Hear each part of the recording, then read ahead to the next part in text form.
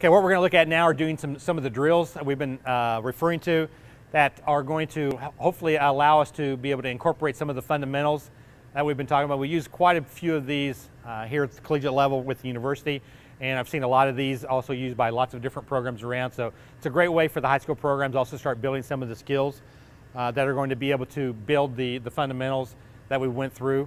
And the first one we're going to look at is the uh, the one-step drill, which is a, a, very common, widely used drill.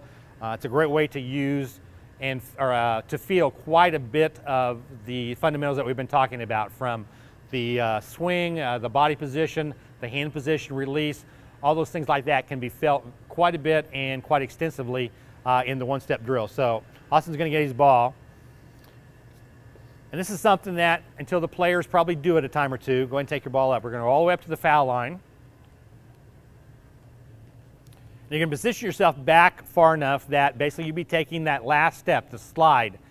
Okay? Nothing's going to move prior to the swing coming down and back. So it's going to swing down, swing back, and then as we come through, we take that last final step. One step. Like that.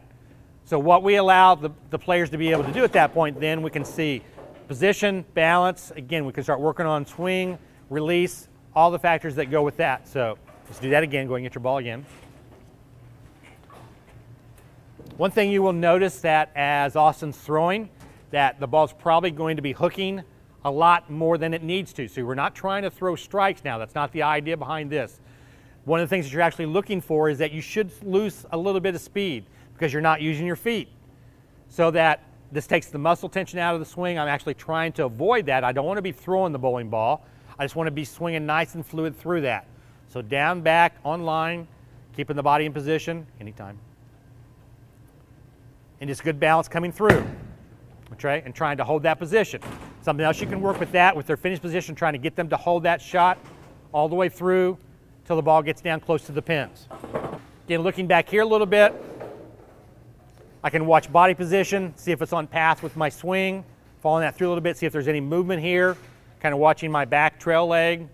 So lots of things I can see back here from that position also. Really see that swing path and watch that. You can see that. See if there's any loop back here, any movement back here, early rotation coming through. So it gives you a great visual to be able to show them, especially if you're videotaping at the same time.